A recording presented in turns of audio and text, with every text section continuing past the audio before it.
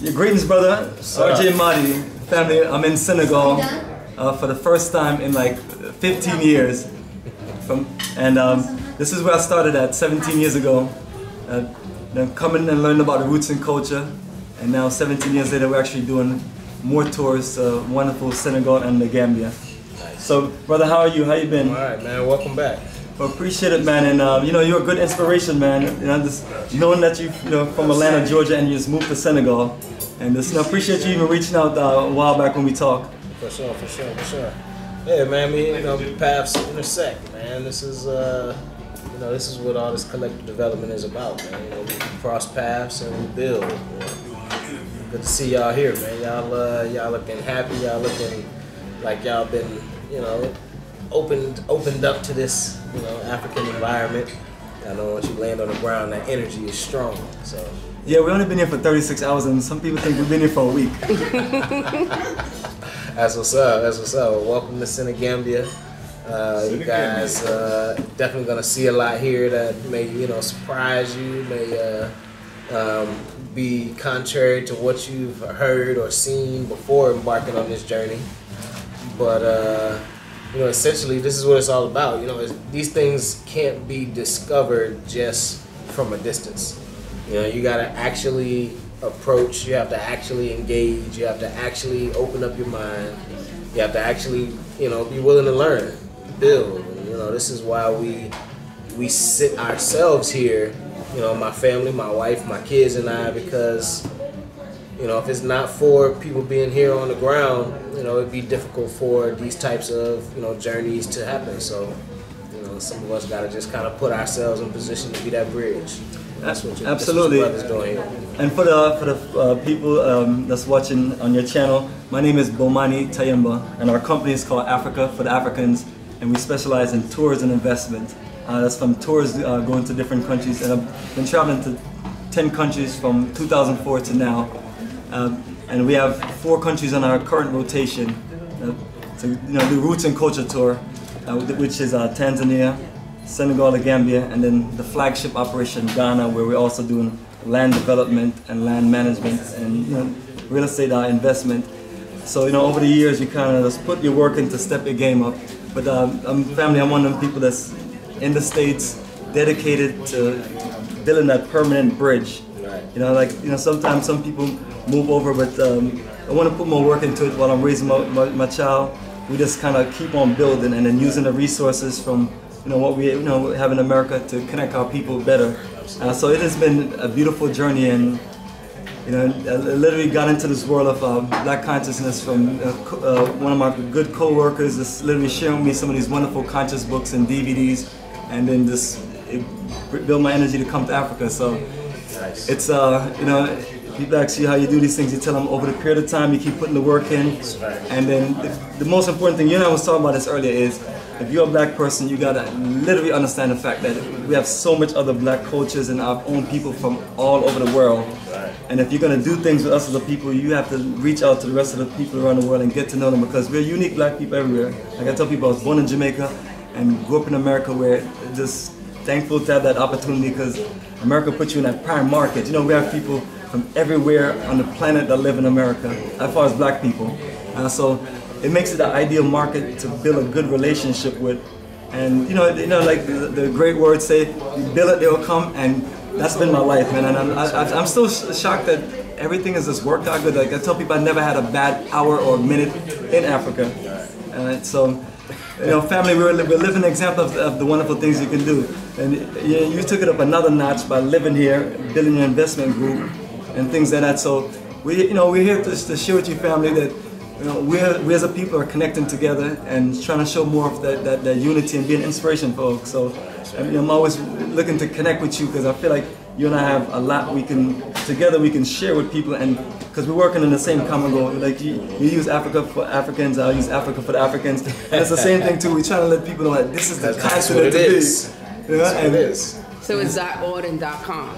Uh, No, th- that's the name of it's just a, it is that's a we, symbol. we, share, we share we share a common concept, and so uh, the concept that he's talking about is Africa. Uh, in, his, in his is Africa for the Africans. which I got And, from uh, Marcus Garvey and Martin Delany uh, Right. back in the uh, 18 something. Right, right. 1820s. Right. There you go, brother. That's what- 1920s. Um, 19 right. Martin, yeah, Martin Elena, people have to like literally go back to that's what was literally a visionary of that, that mindset of us looking to connect Africa. It's a mindset. Yeah. And so there is another uh, spiritual uh, uh, teacher here in Senegal, a big spiritual teacher named uh, Sheikh Ibrahim Niass, uh, who one of his uh, his brother here is actually one of his uh, his muqaddams, his, the, the teachers that teach his uh, his doctrine. And so that uh, big Chef actually had a very famous book named Africa is for the Africans. Uh, and so again, that intersection of you know what we're doing. So you know, he just uh, quoted somebody from Jamaica in the early eight, 1900s who used that phrase, and we follow a teacher here in Senegal who was born in 1901. And, and, and, and lived in the same time frame, but also used that phrase and, and wrote a book which is coined in that phrase. So uh, that just shows you that this is not something that Bomani or RJ came up with. This is not something that we just started. This is not a new thing.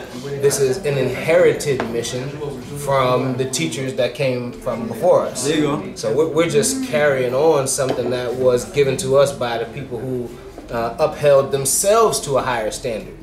Right? So we're not doing anything that our teachers weren't willing to do or didn't do themselves. You know, so when you look at what Garvey did, he put his own life and his own family, his own security on the line for it. Well. When you look at what Sheikh Ibrahim, our teacher here, did, he did the same thing. He built entire communities. Uh, you know, he built followings around the world and, and structures of collective development. And so we learn from those. We take those into our our daily lives, and that's what drives us forward. you know? Can you tell me, uh, both of you, in regards to the investment portion, how can we, um, coming from the diaspora, learn a little bit more about what you do as far as investment as well as you? Yeah, and that's perfect because we both do tours and investment, which is, is the, the pinnacle of tours, literally connecting you with the interests of the country, and then investment, giving you a more secure place to want to live and do business in the country. Now, but my brother, go ahead and um, share. Yeah, so um, you know, investments is uh, is a faction of what we do. Um, you know, the, the the main the main bulk of what we do is just allowing the diaspora to engage.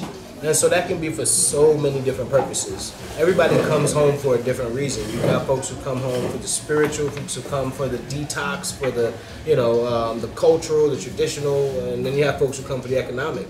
And obviously, the economics is what drives lifestyle. So if we're talking about living here or actually building here, it's going to require economics and development. And so, um, with our investment uh, group, what we do is we focus on that. Whatever uh, it takes for our people to be able to thrive here, whatever um, skills you have, whatever resources, whatever experience, work experience, uh, uh, professional experience, putting it to use in a way that's also developing the continent. Um, and that's what Pan Africanism is. It doesn't even have to be you relocating to the continent, but you putting your efforts and your resources into the continent in your everyday life and operations. So you can still live anywhere in the world, but own operations on the continent, own real estate on the continent, own investment properties and, and businesses that are still feeding you and taking care of you wherever else in the world you are. Uh, and so that's true Pan African, you know, investment and development. That's what we focus on. Absolutely, and what I was telling um, uh, my brother earlier, uh, you know, we, have, we literally have the same concept and things we talk about because when I thought, when I think about investment, I'm literally looking at corporate economics. Uh, you know, one, my favorite author, um, still to this day, is uh, Dr. Amos Wilson. He wrote that famous book, Blueprint for Black Power, uh, based on economics. So when you're looking at the things that we want to do in America and that we try to do, you know, you're very limited. But then if you open your mind up to Africa, you know, like one of the things we focus on uh, in Ghana is getting, trying to learn the, the culture of business, how to get land, how to work things out, how to understand the, loopholes and issues in the system, and then just really just going out there and doing it. So what we also talking about is a literally practical way of getting things done. Uh, you know, you know you need land, you know you need connections, and that's what I like about Ghana. We have a good momentum there. But you know, as you can see me in Senegal, we're not just not just stopping there because we do need to have a good seven to ten countries where where when people really realize that it's time to just escape America, they have those things in place. So if you need to get citizenship, residency, which is another thing I was going to ask you about later on, um, if you need to get uh, certain connections to where when you get to a country, you're not just spinning your wheels. So you guys join us on the journey, which is good because you notice uh, none of us speak French or Wolof, so you, come here, you're gonna get you know lost and, and, things. So having those of us that have built that connection and making sure that you know our people are taken care of, it really just help things going. And so I was explaining to you know a, a friend of mine uh, about a few days ago and let them know that no, I'm not moving to Africa to separate myself from my brothers and sisters. But I was like, it's important to build energy with like-minded people that where you live at and say, hey, you know what, let's make a group move to Africa so we can put our money together, get land. Uh, we can look out for each other, not like we just run, we, we're scared of running from the local folks, but uh, when, when you look at Africa, you have to look at everything is based on ethnic groups, so you can call it tribes, you can call it small nations, but my elder, you know, one of my greatest inspiration also, Sister Imahkus, or my One Africa, you know, the famous New Yorker who moved to Ghana. She literally explained that to me when I first got to Ghana in the early 2006, 2007. And she was like, you get better success if, you know, and she was saying something, people may not like that sound, but it's like, she was like, we as a people are from the tribe that we live at, which, you know, you can call it the black folks who live in America, but it's kind of like a tribal group. So if you organize yourself properly and you connect with other people in the country, you know, you can actually, you know, it's, it's like it gives you leverage to where now you're coming to the table with another ethnic group, another group of people, and we can say, you know what, we're both nations and we can, we're coming together for the benefit of the future. But somehow people may look at it different uh, when we talk about building communities. They may say, if you guys moving to Africa to, to build this black American city and things like that. I'm not sure if you get that same thing, but like I tell people, we're on like the same path of things like that. But you, see, but more so you see the, the, the importance of doing it because sometimes I have people that go to a certain country, and I'm not, not gonna lie, family, it does break my heart. I've had good friends who have done well for themselves, went to Africa, and because they just wanted to dissociate with us, like I'm not messing with you, black folks in America. I'm gonna go to Africa. I'm gonna, I'm gonna get with the people. And I was like, yo, we're both your people. I'm your people. We're your people, and our African family on the continent is your people too. Mm-hmm. So you know, don't just like run away from any of us. Just like where we're living at, we have 65 acres. But then I have so much other Ghanaians that's building development communities and things like that. And I've spoken to a few of them. I was like, you know, I was like, this give us a chance to work together because what I was explaining to them, where I come from Jamaica, I lived in Kingston, but when I was able to grow up in America and we finally had a little money, you know, we went back to Jamaica and enjoyed the life that we just saw other people enjoying. Going to Montego Bay, Negril, Ocho Rios, three of my favorite places in the world. And all three of those places have incredible beach cities, but unfortunately, some of the real estate that's in these wonderful cities, you know, like my sister say, it's, it's Spanish, it's Chinese, it's Indian, and all that stuff. And a very small percentage of black Jamaicans that have any ownership. So now I was, I was telling some of my neighbors that live in, you know, outside of Winneba in Ghana, where we are, that when we put this energy together, we can transform the beach. I was explaining to them, you know, that's like that's why when I was driving earlier and I saw that that strip uh, yes. right there in Dakar where They're people were working out playing soccer, and it reminded me of Brazil. Those are the things that you can literally put together, and then you can add your resorts. You can, you know, one of the favorite things I like to have beach parties, you know, mm-hmm. and you can just make it to where you have the price so low for the average local person or average brother and sister to where you have your own brothers and sisters coming to enjoy a vacation because everywhere I've ever been as far as some of the wonderful places, what I see is a lot of everyone else, you know. Uh, like I was in Panama uh, City uh, Beach, uh, which is uh, this, you know, in northern Florida, northwest Florida. and Riviera. it's like so much is owned by so much other people. Then you go to Daytona Beach, you go to Myrtle Beach, you go to mm-hmm. Miami Beach, you go to Fort Lauderdale Beach, and so on, West Palm Beach, and all these other wonderful places. Yeah, and well, Fort Lauderdale, it's you know about Broward. There, there you go, and it's just resources that we, you know, that other people just build and then say, you know, just you just come and we're gonna get your money, but it's, you know, we can uniquely build something for us in that area. That's why when we was looking for land, we want to get something about two miles away from a, you know, from a beach, and then also get access to a freshwater lake, which may be about a few miles away, and and then ultimately that beach is nice and clean and we can transform it. And it's trying to get us more into black economic investment. So that's what I've learned uh, in, in Africa as far as this group economics. And like I mentioned to you, family, going back to Amos Wilson, Blueprint for Black Power, that was the most relevant book I've ever read because he based everything on the aspect of the importance of power. And uh, I was talking to one of my other brothers uh, earlier today, and we were talking about the same thing. We were talking about what white people are doing. They came from, um, I heard the tour guide explain this, that you know, we call, we, use the word poor white trash. Before before slavery and colonization, you have to just think about Europe. France is in trouble, and they get so they steal so much money from their West African, uh, you know, their, their, their West African former colonies or colonies or whatever you want to look at it. And they have they have countries in the Caribbean they have conquered, and they get all of these resources that, and then still they're in trouble. So imagine when they didn't have access to all of the resources that they stole from us and things like that, and have access to the, the countries that they have now. Uh, what were they living like? You know, probably just poor white trash. So they, they looked at everything as power. Like you know what? We're tired of starving. We're tired of this. Let's go out there to the known, the, the, whatever out there, and we're gonna figure something out. And you know, and, you're telling everyone you know, it's easy for us to take these things emotional and things like that, but you know, we deal in a world of modern day warfare or military science. And if you don't gear yourself up to put your resources together or figure out a way how you're gonna make it, and that's why I use black cooperative economics. And when I tell people that when we do everything, it's just us. Like I tell people, look at my website, look at everything. You will not see a white face in there. Maybe somebody walking by by accident, and we didn't like remove them from the photo. But you're, you're focusing on yourself because you're trying to build power. And it's hard to build power when you're integrating with so much other entities that don't have your best interest. So yeah, I just wanted to share that, that those are the things that we build in because sometimes people are confused about what we're really out here doing. Uh, I had somebody that was, you know, insulting us on YouTube um, um, because we're trying to build these beautiful black communities and saying that you know, and I was like, you know, whatever you wanna, if you wanna talk to me about it, you can call me and we'll, you know, we'll explain it oh, to you. you but get insulted on YouTube too? Oh, not really, because people say I'll be lame low. I was like, I, be, I use my tourist video.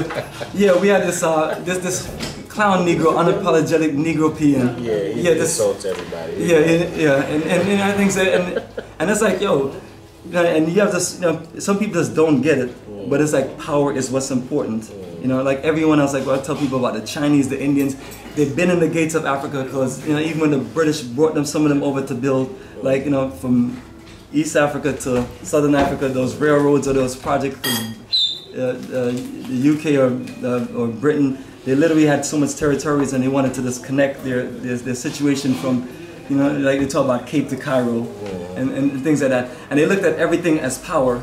Uh, so, you know, you're telling people, that's what I get from Garvey and when we talk about Africa for the Africans, you know, because you're looking at India for the Indians, Chinese for the, the Chinaman, and now you have the European Union uh, that's, that's established themselves uh, after they almost wiped each other out in World War II. Like, if that thing would have lasted for another five years, it would have been like, ooh, life would have been sweet because it's less, but, but nevertheless, it, you know, they doubled up. So you're telling us that we have to do the same thing. And let me not take all the time to talk. I'm sure my brother has some more things to share.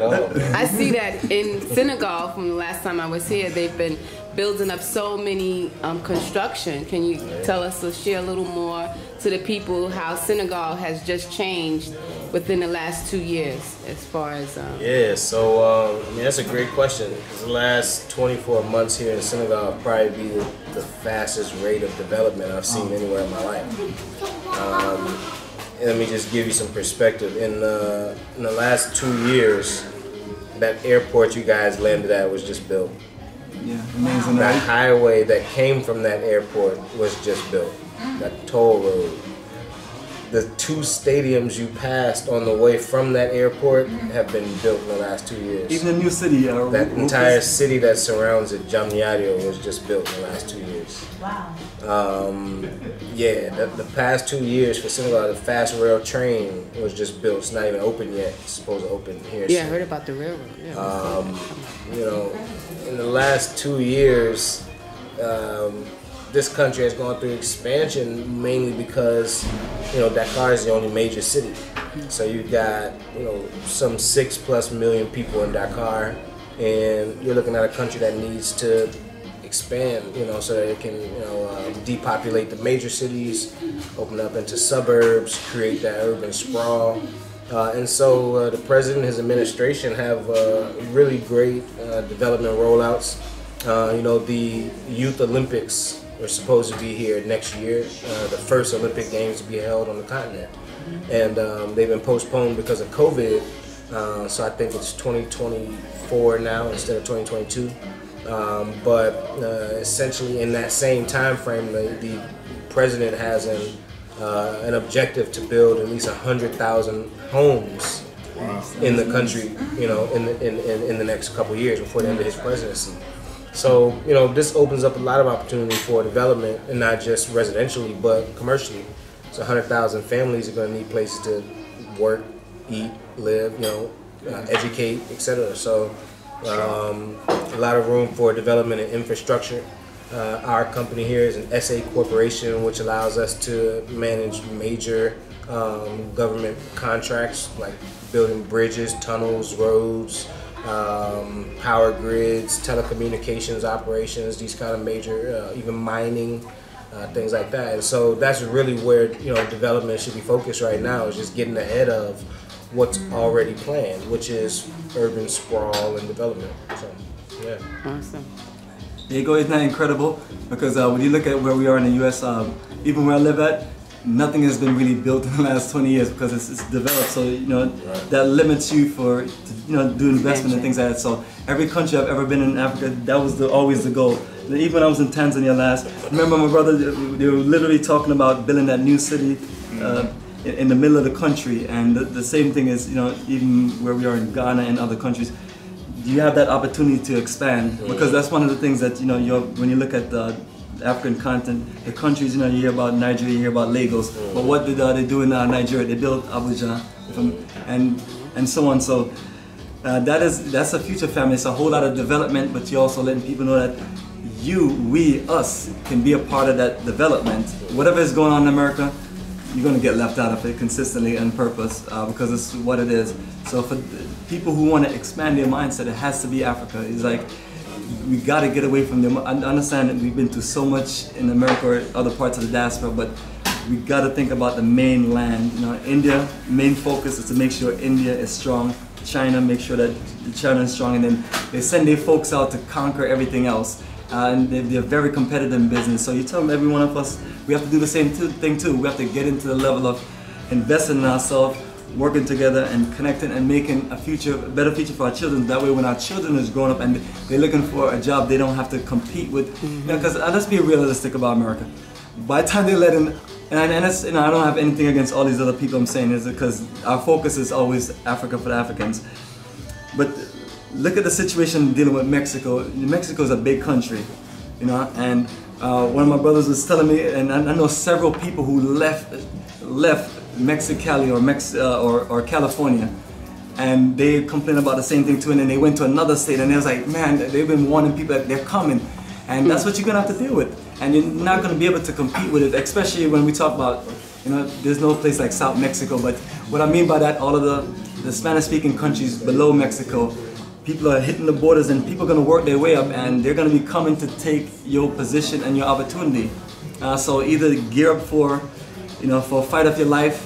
Uh, but then when you're, you're when we as a people don't own certain economic situations like corporations and so on and so on, then then your child is out there for position, and you know anyone could just pass them up. And you know I have my own stories to, to tell about those things because you know, but it's like you create the future in Africa. So when your children want opportunities, and you know, we're just fixing our own problems, and we can do that little by little, um, especially with the resources that we have access to in America. Like you know, like I was telling, like we was talking about earlier about the salaries and the kind of economic resources that we have in America. That if we use it properly, we can build great black economics and literally put ourselves in a situation. So while my brother and us talking about the future of Africa, we telling people don't miss out, and that's why I appreciate everyone in my uh, in our investment group called Black Star Pan African Community. Um, and then we just got together, put our money together, and started acquiring land, and we got goals to do group projects. And some people may say, "Yo, that land is a lot of money." I was like, "I know, but when you put your money together, other people money, it makes a big difference." So that's what we, you know, we're looking at. We're looking at getting everyone cleared and prepared for the future of Africa and let people understand also that you know if you don't see what we see and things like that, we don't have no beef with you because we're literally gonna have to focus on what we are focusing on. So while the sideline haters are running their mouth and things like that, you know we're looking for the people who about that life, about that business, and you know uh, grew up in an energy where I met a lot of black people talking about black power, black consciousness, and then when it's time to do the work, it's like you know, so it- it's gone. So, you know, we got to build a momentum with those of us who are doing certain things. Just like RJ Mahdi lives here in Senegal, I know so much people that live in so much other parts of Africa. And when I was in Tanzania, the same thing too. we were we were just connected with our folks and we're talking. We was having the same conversation about us just doing it, and that, that's what I feel it, it just takes. It takes us just Come having together. dialogue. A lot of times, honestly, we don't communicate with each other because you're thinking uh, you're thinking like, oh, you look at me and like, yeah, you know, maybe I won't, maybe I don't say anything to, to, to him because he's gonna come and take steal my car or break into my house and things like that. Just complete negative energy. But if you build an energy with like-minded people and and I think also like we talk about, if you build it, they'll come. So you put the work in and the support will come. Like I, I I was telling people that I'm- appreciate the American market, the Black American market, because we have access to so much people that we can do things with. And uh, one thing I realized is, you know, even when I started my first business, my IT business. Man, I got so much love from folks. Folks, you know, just trust me to come to their house and work on their computer system, and didn't have to show them a bunch of certification and paperwork. It's, you know, the, the trust was there, uh, and some of these are relationships, and some of these are referrals. But these are things we just literally gotta gotta look Trust at. each other. Just put the work in and build the trust. That's why I tell anyone if you want to do any kind of business investment with me, you don't even have to even call me or talk with me. You can look at all of the stuff that we have out, and then when you're definitely ready to talk to me, if you want to talk for two, three hours or whatever it is, or every week or so on, I make myself available. And I realize when you put the work in, you know, the things work out. Uh, so I think we just have to change up our game plan because you know we'll say every time we try to do this in in a in America, this happened, that happened, and we see the consistency of it. As a matter of fact, my brother Binus was the one that told me told me about uh, the move situation in Philadelphia. It was a, it was a, it was a black uh, economic group, and if they were literally was working it out to where they was they can get access to land and do things in Africa, that group would have been so incredible.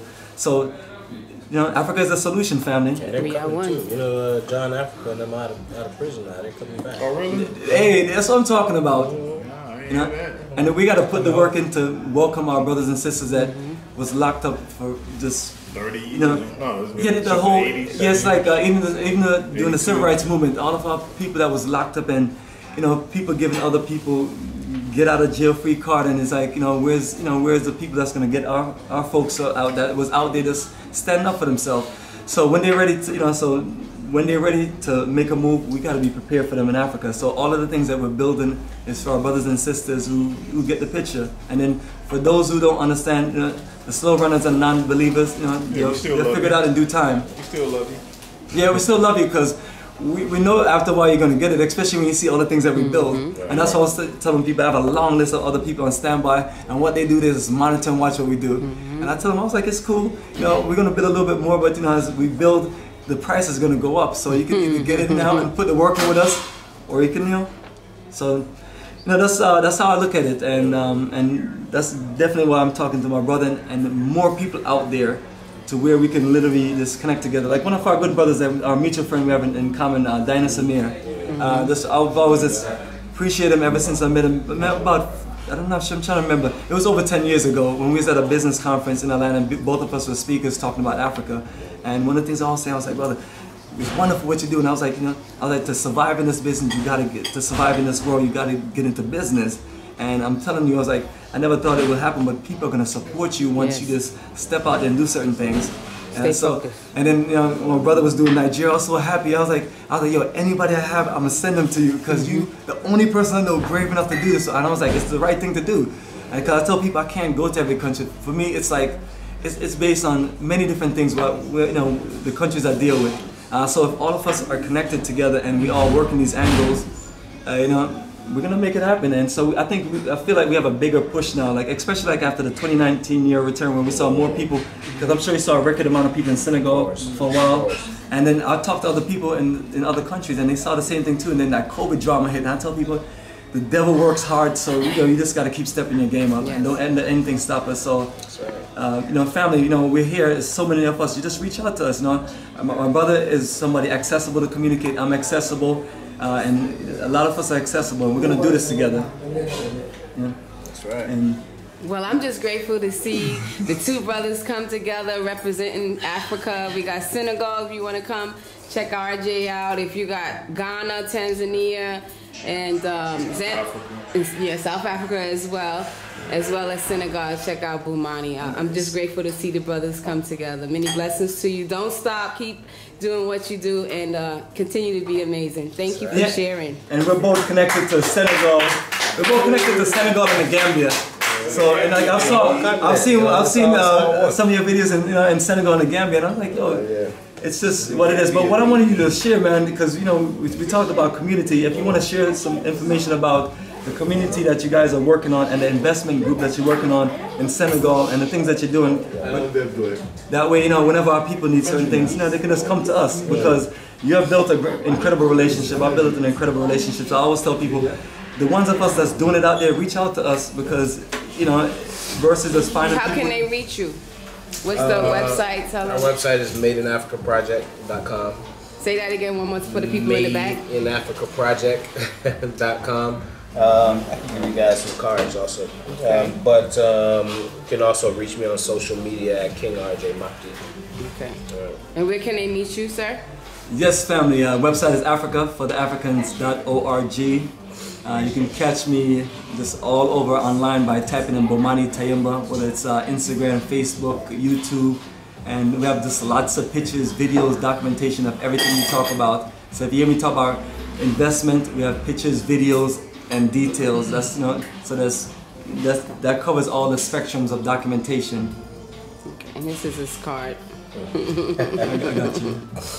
All right. Hold it up in front of the camera. Thank you. Yeah. Thank you. So- And so, share uh, lot, man. I- I Well, well, appreciate I also want me you to out. share more about. Oh, absolutely, brother. That's the least I can do, man. You know, Investment. Yeah, about the, uh, the community building because I'm very interested in that. Okay, well. one of the things is, you know, I'm here for tourism in Senegal and the Gambia more so than anything else. But when we have people that are interested in and want to live in new things, you know, you're like the person that I want to like connect them to. Right. And the same thing, like I mentioned, like Dinas is doing Sierra Leone and um, and he's still doing Nigeria. Well working to get connected back to that. And that's me as a brother, man. I, it just I just believe in sharing love. Just like you, you see us put the budget together and we just spread nothing but love. But anyway, uh, let's, let's hear about this community you, you guys are working on an investment. Uh, yeah, so we have a um, 1,200 acre uh, community here in Senegal. Uh, it's called Al Kabalan, and uh, it's about so 600 acres or so. Um, but uh, essentially, we've um, developed a 100 year development plan for the city, uh, which includes economics, education, agriculture, transformation, tourism, um, and a ton of other industries just pretty much to, to make the city run. Um, it's slated for 10,000 homes as part of the president's 100,000 home program that we were just talking about. Um, so we are partnered with the government on that project. Um, we have a lot of opportunities for folks to actually be able to own, you know, tracks of that project, so whole communities. Um, you know, essentially, you can think 600 acres is a lot of land to develop, and so, like Money is saying, it's a collective effort. Uh, so we have a lot of, you know, large-scale investors who are coming in. Folks are building uh, amusement parks, uh, movie studios. Uh, we've got folks coming and building a university, uh, University of Akenalan. So these things just will all be contributing to the development of that town. Um, so yeah, that's that's our main, you know, uh, focus right now is just filling all of the needs, you know, so that when people come and live there, everything they need to survive is in that city. Uh, and so you know, that's what we've committed ourselves to, and it's going really well. That's perfect. And also you have a, an investment group. Um, if you want to share more about Exodus that. Club.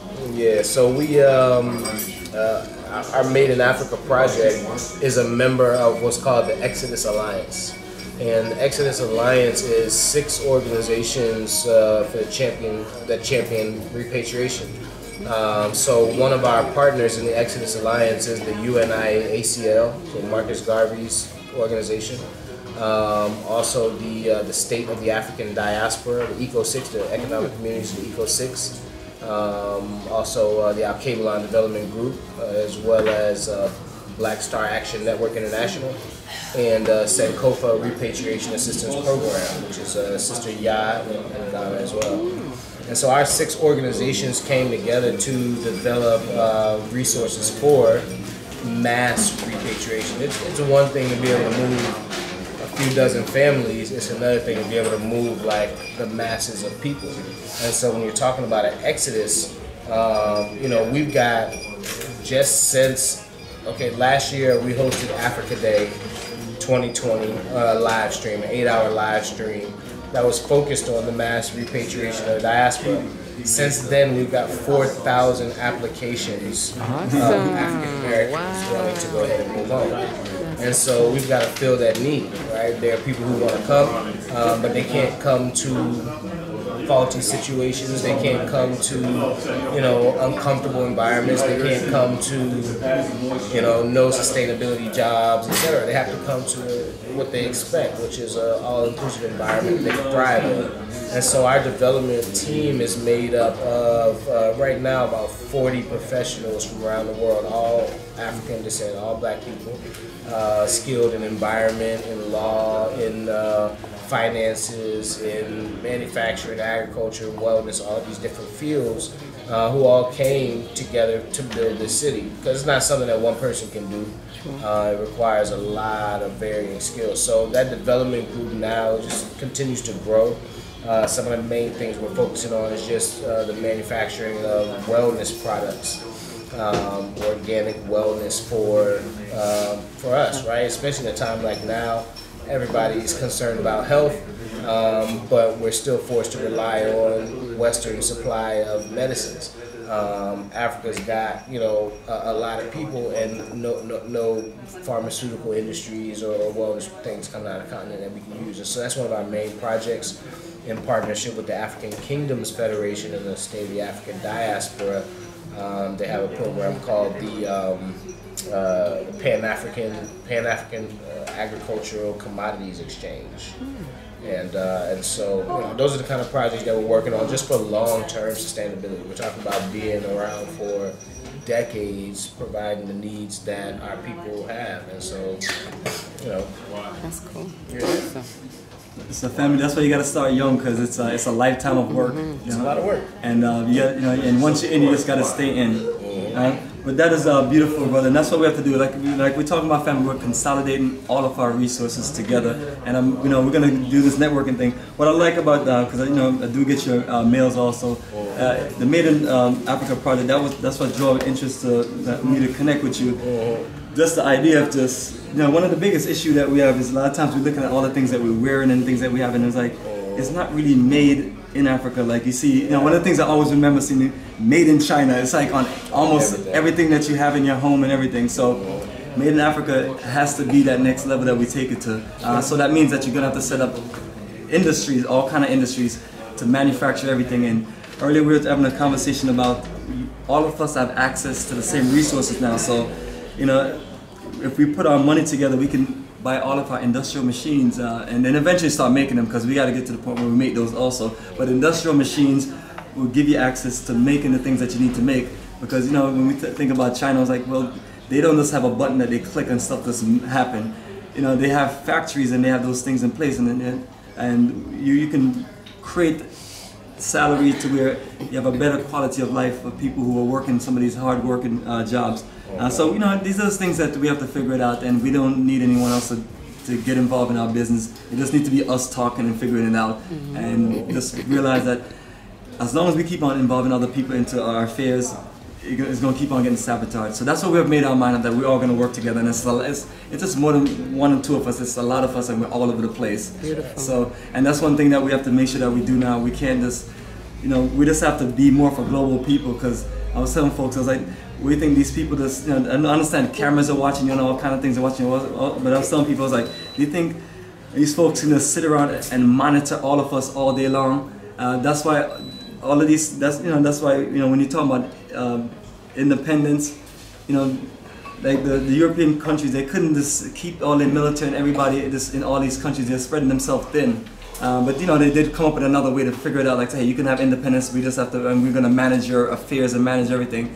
So, um, you know, you're dealing with people that's gonna find ways to keep you oppressed until you literally say, hey, this is all about us, us, us, and us figuring it out. So that's where I'm at. Um, and you know, a lot of things, you know, we're gonna you hear myself repeat but because it's you know it's things sometimes people don't get certain things so you have to break it down into a science you know, because at the end of the day, whatever we build and do, it's going to benefit all of our children for generations. And then we talk about Africa as the youngest population.